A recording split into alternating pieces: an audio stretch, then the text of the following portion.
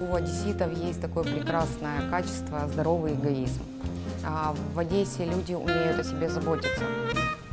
А у нас в Донецке мы такие тяжеловесные в этом.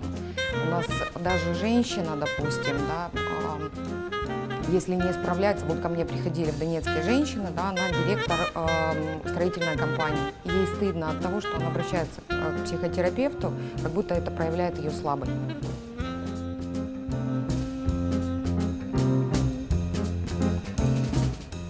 Да, я приехала с этими летними вещами, я привезла краски и кисти.